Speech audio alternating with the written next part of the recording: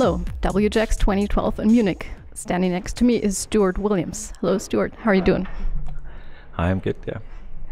Um, can, could you introduce yourself really quickly? Yeah. Hi, I'm a consulting architect in the Spring Source division of VMware. Uh, I work in the professional services team. And you're going to give a session on Vert.x. Now, um, Vert.x has been getting a lot of attention lately, um, but there are still some people who might not know what it is. What is Vert.x? Okay, Vert.x is a kind of interesting project. It brings a hybrid model of the same kind of reactor pattern that's used in Node.js, um, but it runs on the JVM. And this means that we can uh, take advantage of decades worth of engineering in memory management and thread management um, on the JVM. And we have a whole ecosystem of uh, uh, Java libraries that we can work with.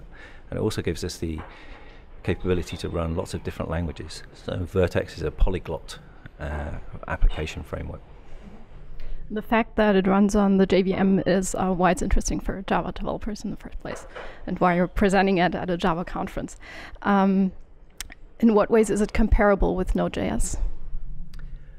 Uh, I guess it's kind of comparable in the in a superficial way in that we use the same callback reactor pattern um, in uh, the verticles, which is our uh, main unit of code. Um, but beyond that, Vert.x has a built-in event bus and loads of other interesting capabilities that really, I think, probably set it apart from from Node.js.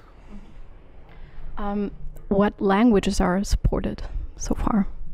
So far, we've got support for Java, obviously, uh, Groovy, and um, JavaScript, uh, Ruby, and Python. Any other languages are, that are going to be supported? Yeah, soon we're going to have uh, full support for Scala, and um, we're also working on Clojure. Great. And what about other technologies? Um, is there support for that?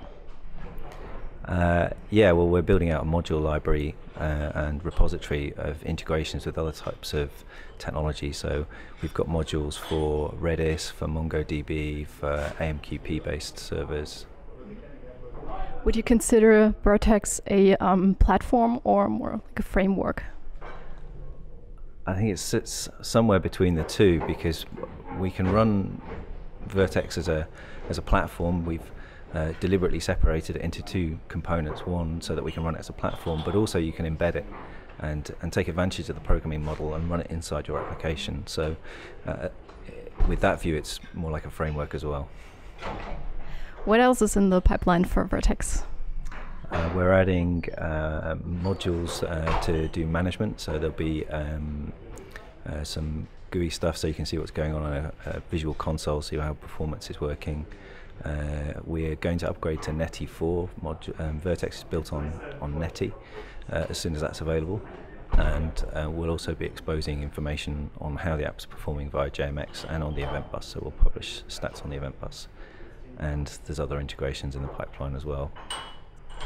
Well, Stuart, thank you very much. Good luck with your session, and thanks for watching JAX TV. Have a good day.